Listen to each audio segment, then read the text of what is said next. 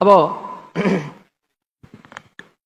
അദ്ദേഹം ചോദിച്ച പ്രധാനമായ ചോദ്യം ഈ കർമ്മം കൊണ്ട് ആരെങ്കിലും ക്ഷത്രിയനായിട്ടുണ്ടോ? അല്ലെ? ഞാൻ കുറെ ക്ഷത്രിയന്മാരുടെ പേര് പറഞ്ഞതിനെയൊന്നും അദ്ദേഹത്തിന് ഖണ്ഡിക്കാനുണ്ടായിരുന്നില്ല തിരുവനന്തപുരം ഈ സംസാരിക്കുന്ന തിരുവനന്തപുരത്താണ് പുലയനാർ കോട്ട എന്ന് പറയുന്ന രാജ്യത്ത് പുലയ രാജാവ് ഭരിച്ചിരുന്നത്. തൊട്ടപ്പുറത്ത് നെടുമങ്ങാട് പുലയ രാജാവ് ഭരിച്ചിരുന്നതാണ്. അപ്പൊ കർമ്മം കൊണ്ട് തന്നെ ക്ഷത്രിയന്മാരായവർ നിരവധി പേരുണ്ട്. പിന്നെ അദ്ദേഹം ചോദിക്കുകയാണ് ഇതൊക്കെ എന്താണ് ജന്മം കൊണ്ടാണ് ഇതൊക്കെ സംഭവിക്കുന്നത് എന്ന്. ഞാൻ ഇന്ന് ചോദിക്കട്ടെ അങ്ങനെയുണ്ടെങ്കിൽ എന്താണ് ലോകത്തിൽ വിദ്യാഭ്യാസത്തിന്റെ പ്രസക്തി? നമ്മുടെ നാളെ മുതൽ എല്ലാ വിദ്യാഭ്യാസ സ്ഥാപനങ്ങളും അടച്ചുവിടണ്ടേ? അല്ലെ? ജന്മം കൊണ്ടല്ലേ നിങ്ങൾക്ക് ഇതെല്ലാം കിട്ടുക? ഒരു വിദ്യാഭ്യാസ സ്ഥാപനത്തിന്റെ ആവശ്യമില്ലല്ലോ. നമ്മളൊരു കുറ്റി അടിച്ച് അദ്ദേഹം പറഞ്ഞതുപോലെ ആ കുറ്റിയിലങ്ങ് പിടിച്ച് കെട്ടിയാൽ മതിയല്ലോ. അങ്ങനെയാണോ? ജന്മം കൊണ്ടാണോ കാര്യങ്ങൾ തീരുമാനിക്കപ്പെട്ടിട്ടുള്ളത്? ലോകത്തിൽ എവിടെ ഈ ഭാരതത്തിന്റെ ചരിത്രത്തിൽ എവിടെയാ അങ്ങനെ തീരുമാനിക്കപ്പെട്ടിട്ടുള്ള ഒരാളുടെ പേര് പറഞ്ഞ് നിങ്ങൾ ജന്മം കൊണ്ട് മാത്രം അയാളെ മഹാനായി അംഗീകരിച്ച ഒരാളുടെ പേര് നിങ്ങൾക്ക് പറയാൻ പറ്റുമോ? ആരെയാണ്? നിങ്ങൾക്ക് ഇങ്ങനെ പലത് ബ്ലാ ബ്ലാ ബ്ലാ എന്ന് പറഞ്ഞിട്ട് കാടും പടലും തല്ലി പലതും പറയാം. വസ്തുനിഷ്ഠമായി സംസാരിക്കുമ്പോൾ ആരാണ് ജന്മം കൊണ്ട് മഹത്വം ആർജിച്ച ഒരു വ്യക്തിയുടെ പേര് നിങ്ങൾ പറഞ്ഞ്? ഭാരതത്തിൽ ജനിച്ചവരെ മുഴുവൻ കർമ്മം കൊണ്ട് അംഗീകരിച്ചിട്ടുള്ളവരാണ്. അല്ലേ? ഇവിടെ ചോദിച്ചു വാത്മീകി രത്നാകരൻ എന്നുള്ള ആള- ആളായിരുന്നു കാട്ടാളനായിരുന്നു. കാട്ടാളൻ എങ്ങനെയാണ് ആദ്യ കാവ്യം എഴുതിയ വാത്മീകി മഹർഷിയായത്? മുക്കുവനായ ആധുനിക ഭാഷയിൽ പറഞ്ഞ ഒ ബി സി കാറ്റഗറിയാണ് മുക്കുവൻ. അല്ലെ? മുക്കുവനായ വേദവ്യാസൻ എങ്ങനെയാണ് ജഗത് ഗുരുവായത് ആധുനിക ഭാരതത്തിന്റെ ഷെഡ്യൂൾഡ് ഷെഡ്യൂൾ അനുസരിച്ച് ശ്രീ- ശ്രീകൃഷ്ണൻ എന്നുള്ളത് ഒ ബി സി ആണ് യാദവനാണ്. എങ്ങനെയാണ് ശ്രീകൃഷ്ണൻ ദൈവമായത്? എന്തേ പറയാത്തത്? അപ്പൊ ഇവിടെ കർമ്മം കൊണ്ട് തന്നെയാണ് കാര്യങ്ങൾ തീരുമാനിച്ചിട്ടുള്ളത്. ജന്മം കൊണ്ടല്ല. ജന്മം കൊണ്ടാണെങ്കിൽ വിദ്യാഭ്യാസത്തിനോ പരിശീലനത്തിനോ സ്വാധ്യായത്തിനോ സത്സംഗത്തിനോ ഇത്തരം ഗെറ്റുകതറിനോ യാതൊരു വിധമായ പ്രാധാന്യവുമില്ലല്ലോ. നിങ്ങളൊക്കെ ഓരോ കുടുംബത്തിൽ ജനിച്ചു നിങ്ങളുടെ അച്ഛന്റെ അമ്മയുടെ സ്വഭാവം മാത്രം കാണിച്ചാൽ മതിയല്ലോ. നിങ്ങളുടെ ആരുടെ സ്വഭാവം ഇത്രയും കാലം കൊണ്ട് മാറിയിട്ടില്ലേ? ഈ പരിശീലന പദ്ധതി അങ്ങനെ ഉണ്ടെങ്കിൽ ഈ എസൻസ് എന്ന് പറയുന്ന പദ്ധതിനെ അടച്ചു കൂട്ടണം ഒരു പ്രയോജനമില്ലല്ലോ ഇത്രയും കാലം കൊണ്ട് നിങ്ങളുടെ ജന്മം കൊണ്ട് നിങ്ങൾ അവിടെ തന്നെ നിൽക്കുകയല്ലേ? അങ്ങനെയാണോ? ജന്മം കൊണ്ടല്ല. ഗുണം എന്നുള്ളത് നമുക്ക് മാറ്റേണ്ടതാണ് ഗുണം അല്ലേ? ഗുണം എന്നുള്ളത് ജനിക്കുമ്പോൾ മാത്രം കിട്ടുന്നതല്ല എന്ന് ദേവി അതുകൊണ്ട് മനസ്സിലാക്കുക. പിന്നെ വാല്യൂസിന്റെ ഒക്കെ ആവശ്യമുണ്ടോ? സനാതനം എന്നുള്ളത് ഏതോ ഒരു കുറ്റിയാണ്. ആ വാല്യൂ എന്ന് പറയുന്നത് പണ്ട് ജഗതി ശ്രീകുമാർ പറഞ്ഞാൽ ജപ്പാനിൽ എല്ലാവരും അപ്പനെ അളിയാന്നാണ് വിളിക്കുന്നത് എന്ന് പറഞ്ഞുകൊണ്ട് നമ്മൾ അങ്ങനെയാണോ എന്ന് ചോദിച്ചതുപോലെയാണ് അല്ലെ? വാല്യൂസ് മാറുന്നതനുസരിച്ച് നമ്മൾ മാറ്റി വിളിക്കുകയോ ഈ നാട്ടിൽ.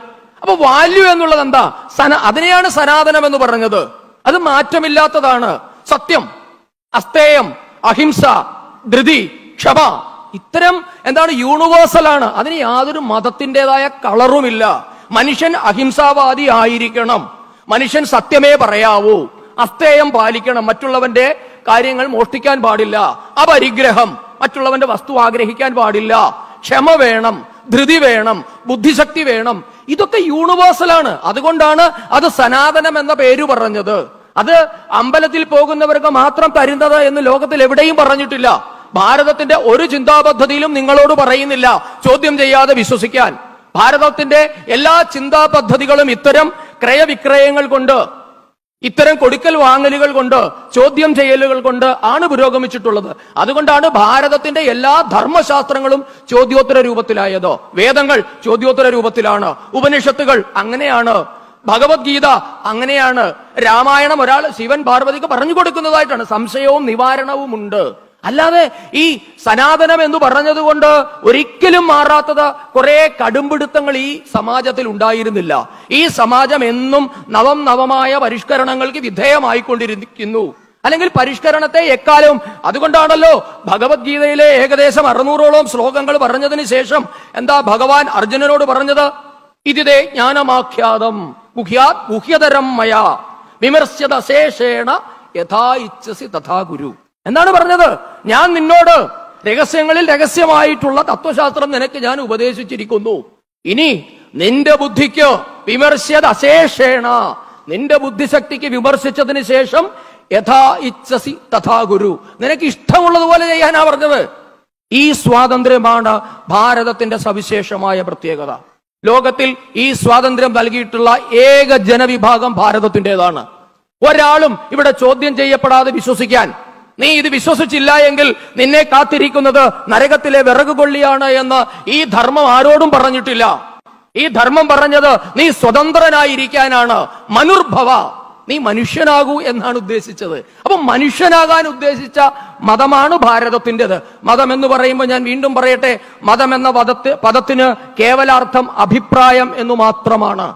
ഭാരതത്തിൽ നിരവധി മതങ്ങൾ ഉണ്ടായിരുന്നു ശാക്തേയ മതം ശക്തിയെ ആരാധിക്കുന്നവർ ശാക്തേയ മതത്തിന്റെ ആൾക്കാരായിരുന്നു. വിഷ്ണുവിനെ ആരാധിക്കുന്നവർ വൈഷ്ണവ മതത്തിന്റെ ആൾക്കാരായിരുന്നു. ശിവനെ ആരാധിക്കുന്നവർ ശൈവ മതത്തിന്റെ ആൾക്കാരാണ്. ക്രിസ്തുവിനെ ആരാധിക്കുന്നവർ ക്രിസ്തു മതത്തിന്റെ ആൾക്കാർ. ദാറ്റ്സ് ഓൾ അല്ലാതെ മതത്തിന്റെ പേരിൽ ഇവിടെ ഒരു മതിൽക്കെട്ടുകളും ഉണ്ടായിരുന്നില്ല. പക്ഷേ ഭാരതം മതത്തിനും അപ്പുറത്തേക്ക് സനാതനമായ ചില മൂല്യങ്ങൾ. അത് അമ്പലത്തിൽ പോകുന്നവർക്ക് മാത്രം നൂലിൽ കെട്ടി ഇറങ്ങി വന്ന സാധനമൊന്നുമല്ല.